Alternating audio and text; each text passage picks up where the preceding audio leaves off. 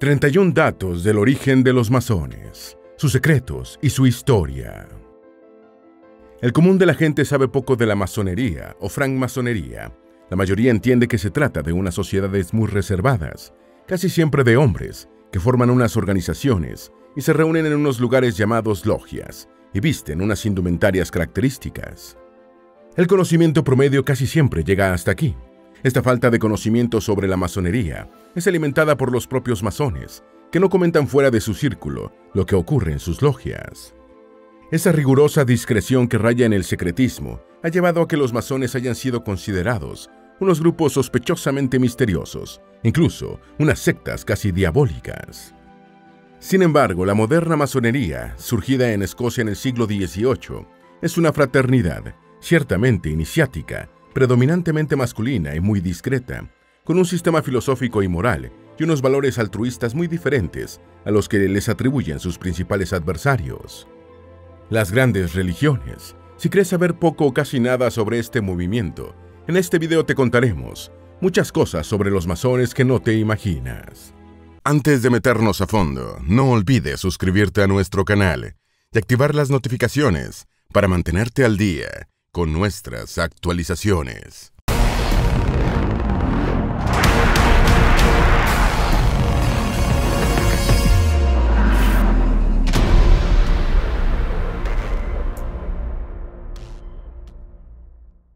Número 1. El origen legendario de la masonería. Una leyenda masónica atribuye el origen de la masonería a Hiram Aviv, personaje mencionado en la Biblia como uno de los artesanos que construyeron el Templo de Jerusalén. Algunos relatos retroceden incluso más tiempo, fijando el origen de la masonería en épocas más antiguas, como las de Adán, Noé y Moisés. Estas versiones sostienen que las alusiones del Antiguo y del Nuevo Testamento a los arquitectos podrían estar relacionadas con un grupo iniciático masón.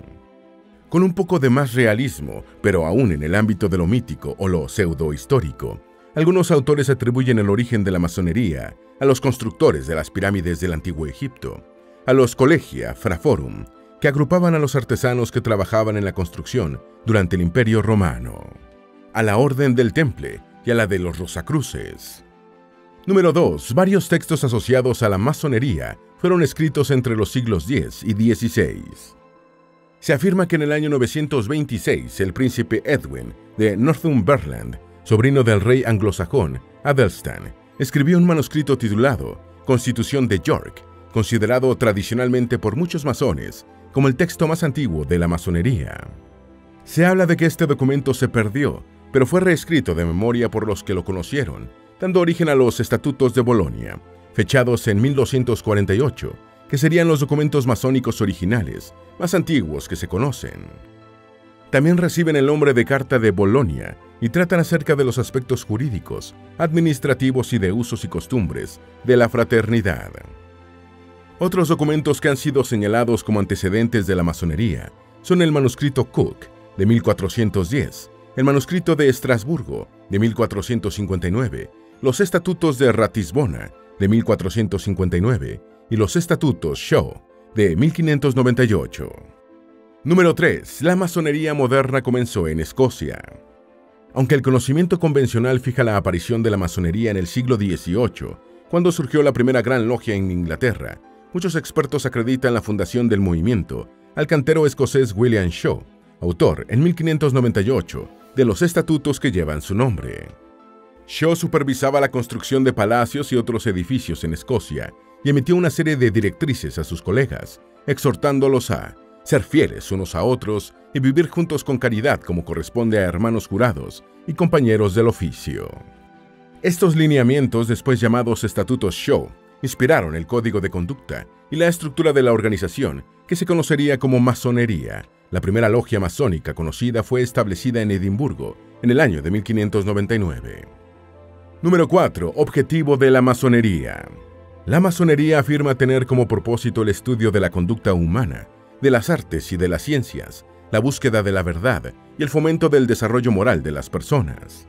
Imparte sus enseñanzas con una simbología tradicional, tomada de la arquitectura y la cantería, y se enfoca en la evolución personal y social de sus miembros.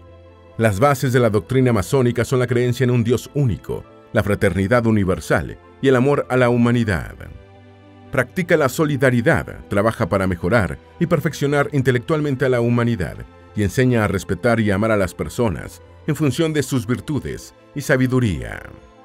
Número 5. No hay acuerdo sobre qué significa la letra G en su simbología. La masonería desarrolló su simbología tradicional a partir de la cantería y la arquitectura, o más exactamente, del arte real de la construcción, que practicaban los constructores de las catedrales medievales. Sus símbolos más reconocibles son la escuadra de construcción y el compás, con una letra G en el centro. La escuadra simboliza la rectitud y la virtud, mientras que el compás abierto representa una alegoría sobre la distancia y la discreción con las que deben comportarse los miembros de la organización.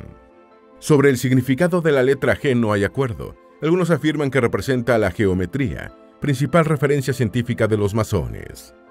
También se dice que la G es la inicial de Gran Arquitecto del Universo, expresión utilizada en la masonería para hacer referencia al Ser Supremo. Número 6. Masonería regular anglosajona. Existen dos grandes corrientes mundiales de la masonería, la masonería regular anglosajona y la masonería regular continental. La primera, también llamada angloamericana, es liderada por la Gran Logia Unida de Inglaterra, a la que se adscriben la mayoría de las logias de las Islas Británicas, parte de la Europa continental, incluida España, los países de la Commonwealth, Estados Unidos e Iberoamérica. Se fundamenta en las constituciones de Anderson, redactadas por el escocés James Anderson y el francés Jana Théophile de Saguiels, y publicadas en 1723. Los criterios de regularidad de esta corriente incluyen la creencia en un ser supremo y la obligación de jurar sobre la Biblia u otro libro considerado sagrado. Prohíbe las discusiones sobre religión y política, así como el posicionamiento institucional sobre estos temas. Número 7. Masonería regular continental. Esta corriente mundial masónica, también llamada adogmática y liberal, tiene su principal exponente en la organización Gran Oriente de Francia. Siendo el principal movimiento masón en la República Francesa, algunos países de Europa continental, parte de Iberoamérica y el África francófona. Más que en un estándar de regularidad, se basa en el reconocimiento de unos valores, formas de organización y ritos compartidos, considerados la esencia de la masonería. A diferencia de la corriente anglosajona, que es esencialmente de hombres, la corriente liberal no discrimina por sexo y reconoce la iniciación y las obediencias masculinas, femeninas y mixtas. También garantiza la absoluta libertad de conciencia, tanto a creyentes como a ateos, y los juramentos se realizan sobre las constituciones de la orden o sobre el volumen de la ley sagrada, que recoge todos los textos sagrados de la humanidad. Número 8. El gran arquitecto del universo. El gran arquitecto del universo, a menudo referido con el acrónimo GADU, es un símbolo tradicional de la masonería, cuyo significado, interpretación y relevancia varían entre una corriente y otra. Para la corriente anglosajona, el gado simboliza al Ser Supremo, en el que se cree cuya invocación ritual es imprescindible. Sin rechazar al gran arquitecto del universo, la corriente liberal lo considera una figura restrictiva, ya que plantea como obligatorio la creencia en un ser supremo, limitando la libertad de conciencia de los miembros. Por tanto, la masonería dogmática no establece como preceptivo la creencia en un gadú ni su invocación. La corriente masónica continental deja en libertad a sus miembros de dar al gadú la interpretación y el contenido que mejor se ajuste a su conciencia. Número 9. Aunque los masones son mayoritariamente hombres, también hay masonas.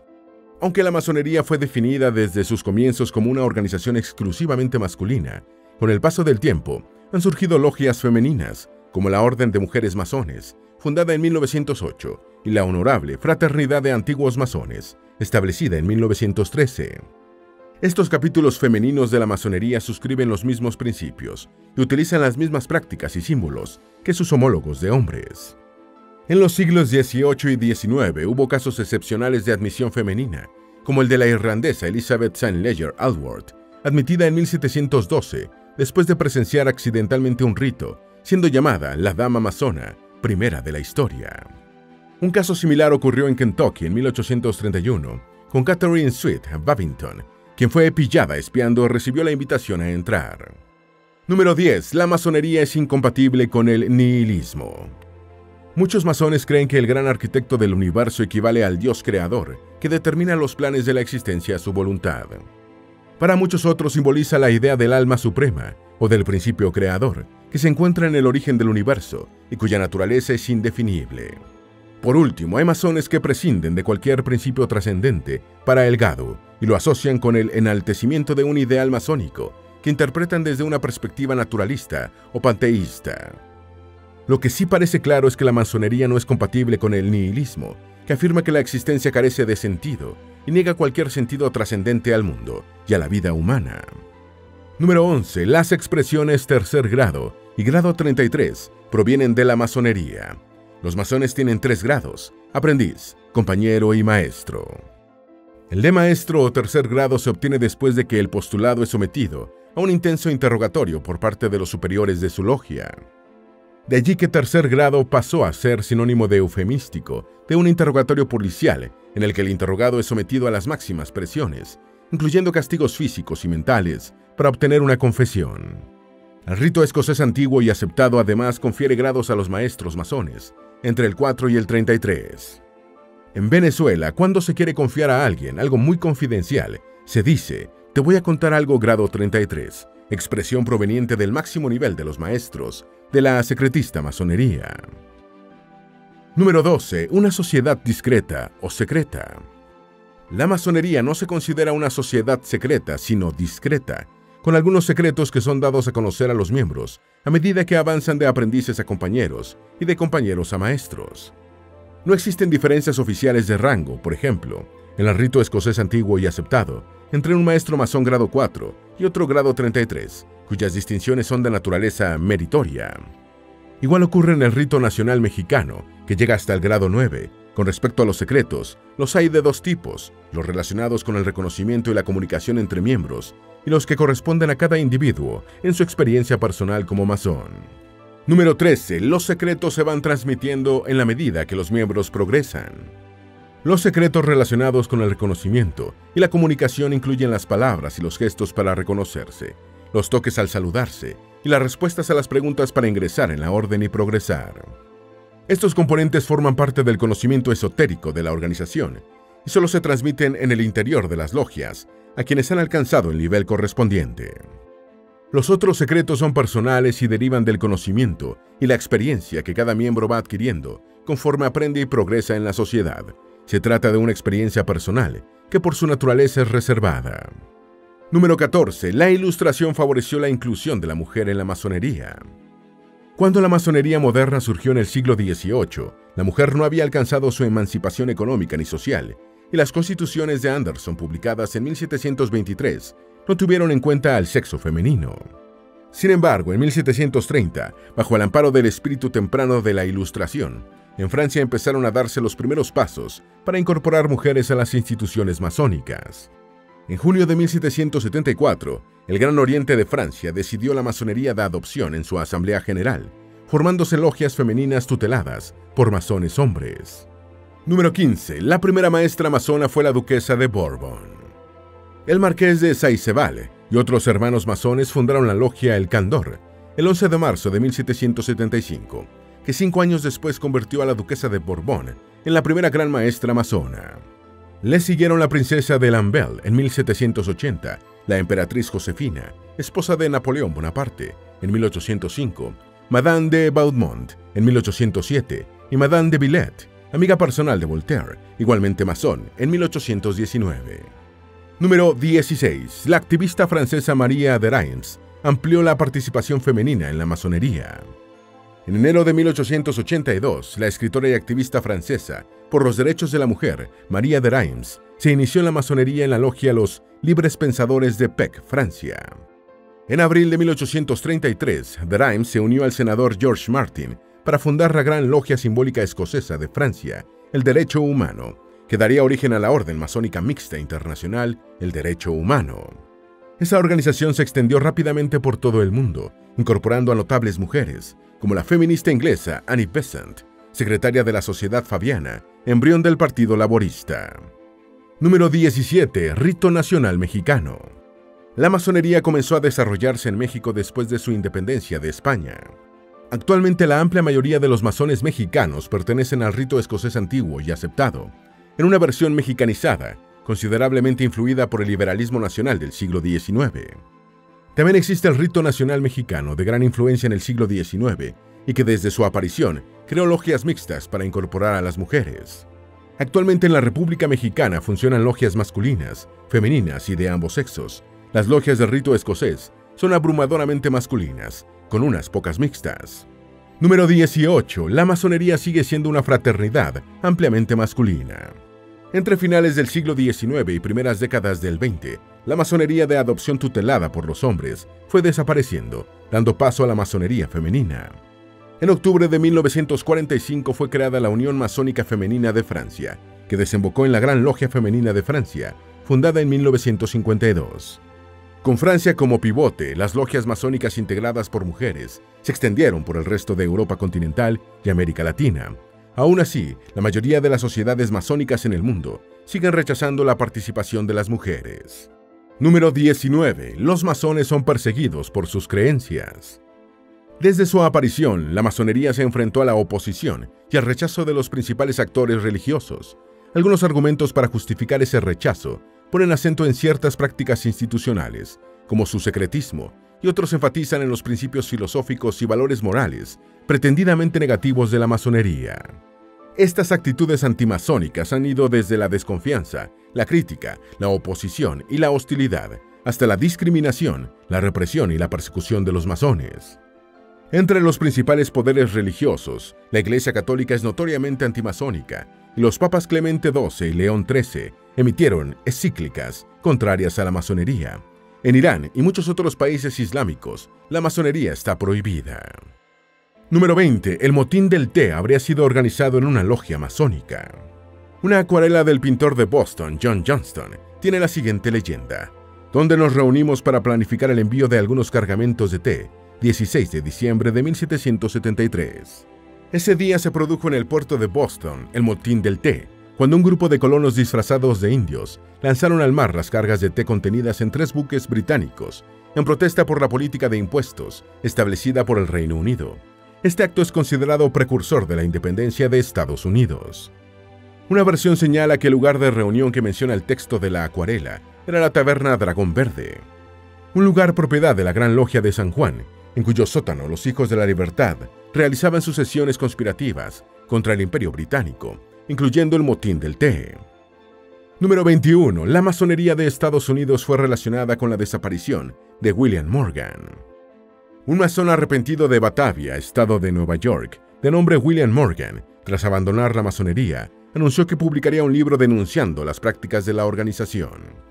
Morgan fue acusado por deudas por antiguos compañeros de logia y arrestado, aunque recuperó la libertad poco después gracias a que el futuro editor de su libro pagó lo que debía. El ex masón fue liberado y fue visto por última vez el 11 de septiembre de 1826, cuando desapareció misteriosamente para siempre e inmediatamente comenzaron las especulaciones de que había sido asesinado por la masonería para que no revelara sus ritos satánicos. También se especuló que Morgan desapareció voluntariamente, yéndose a Canadá u otro país, para mejorar las ventas del libro, que fue un éxito. Número 22. El Partido Antimasónico estadounidense surgió como reacción a la masonería. Dos años después de la desaparición de William Morgan, surgió en Estados Unidos el Partido Antimasónico, que aglutinó a numerosas personas que rechazaban a los masones y sus supuestas prácticas, incluyendo al presidente Andrew Jackson, un prominente miembro de la masonería. En 1828, el antimasónico se convirtió en el principal partido de oposición en Nueva York y candidatos antimasónicos ganaron la gobernación de Vermont en 1831 y la de Pensilvania en 1835. Sin embargo, el partido antimasónico salió con el partido Whig y fue absorbido por este en 1838 en 1832, el partido antimasónico fue el primero de Estados Unidos en elegir un candidato presidencial mediante una convención nacional. Número 23. La histeria antimasónica es común a varios países. Aparte de Estados Unidos, donde surgió un partido antimasónico que alcanzó importancia regional, en muchos otros países la francmasonería ha dado de qué hablar, incluso en fechas relativamente recientes. En 1981 estalló un escándalo en Italia, cuando la policía confiscó una lista con mil hombres de personas supuestamente pertenecientes a una logia masónica, conocida como P2. La lista incluía políticos, altos funcionarios, jueces, militares, empresarios y periodistas, y la organización fue implicada en acciones delictivas y subversivas, incluyendo el asesinato del banquero Robert Calvi, del Banco Ambrosiano, estrechamente relacionado con el Vaticano. En 1989, Martin Short publicó en el Reino Unido el libro Inside the Brotherhood, o Dentro de la Hermandad, causando revuelo por sus revelaciones sobre los presuntos vínculos entre las fuerzas policiales y la masonería. Número 24. Existen miles de logias de gente de color. En 1775, Prince Hall, un abolicionista afroamericano de Boston, y otros 14 hombres de color de la ciudad, fueron admitidos en una logia masónica formada principalmente por soldados británicos. Según señalan documentos del Museo y Sociedad Histórica de Medford, estas personas de color habían sido rechazadas en las logias bostonianas, formadas exclusivamente por blancos. Tras la independencia estadounidense, estos pioneros de la masonería afroamericana perdieron casi todos sus derechos, teniendo prohibidos la mayoría de los rituales.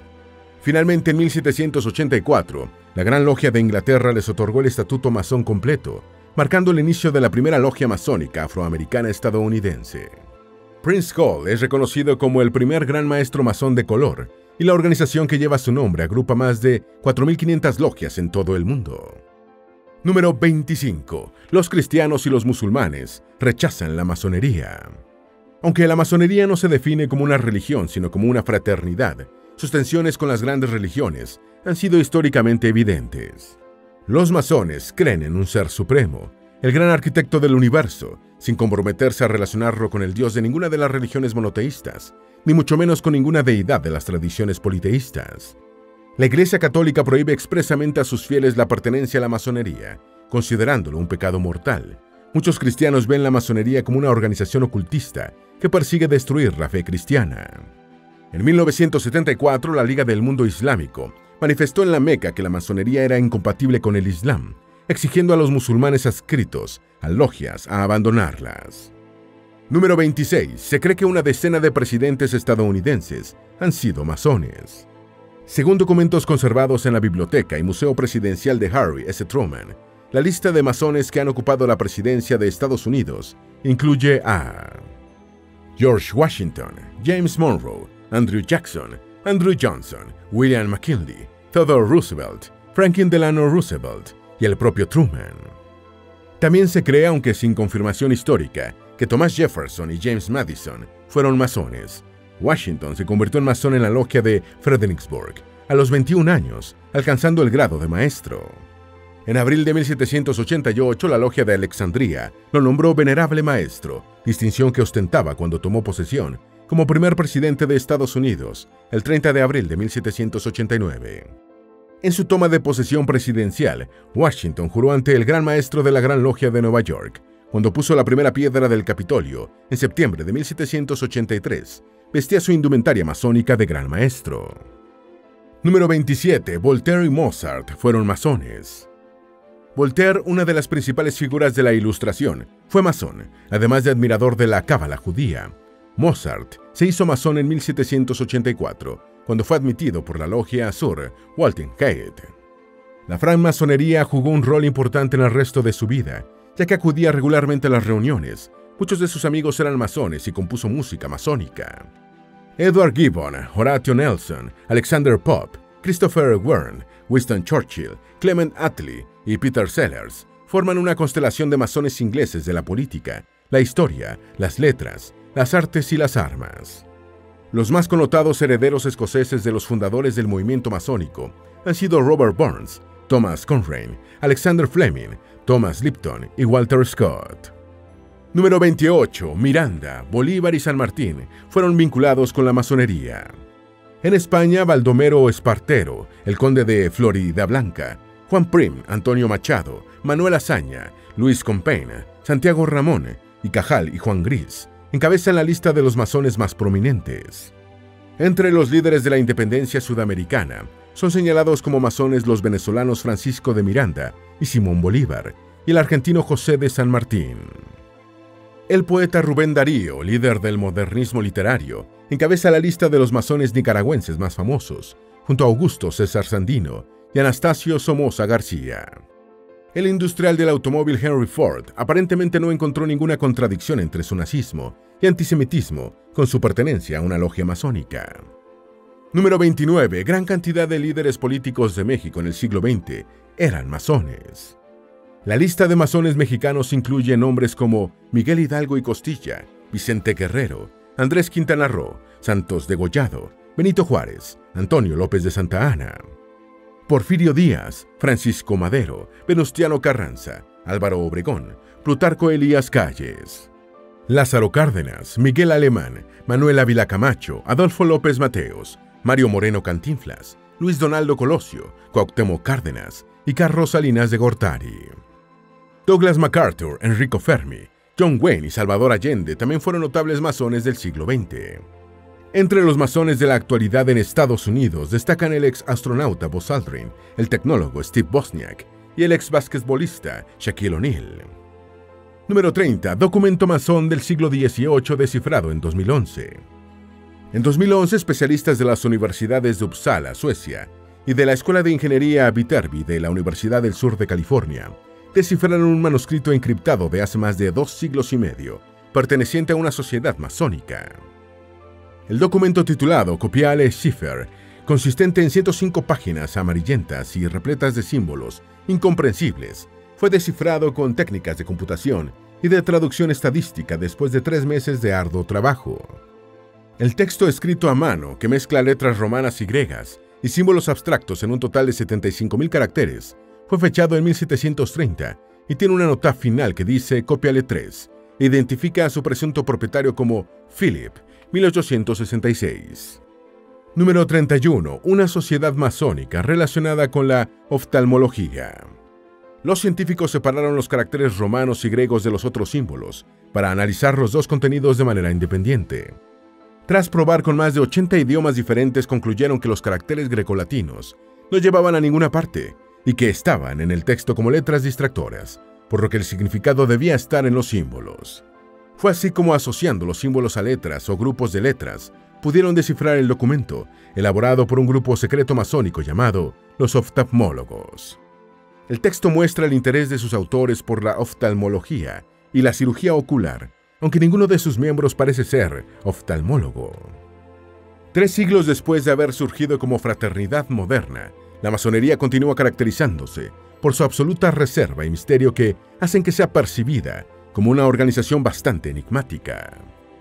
Esperamos que este video te haya sido útil. Si tienes algo que agregar, por favor, compártelo con nosotros en la sección de comentarios. Dale me gusta a este video y envíale el enlace a tus familiares y a tus mejores amigos para que también sepan más sobre los 31 datos del origen de los masones, sus secretos y su historia. Si eres nuevo en nuestro canal, no olvides suscribirte. No se te olvide seguirnos en todas nuestras redes sociales, que van a estar aquí abajo en la descripción. Recuerda, un pueblo que no conoce su historia está condenado a repetirla.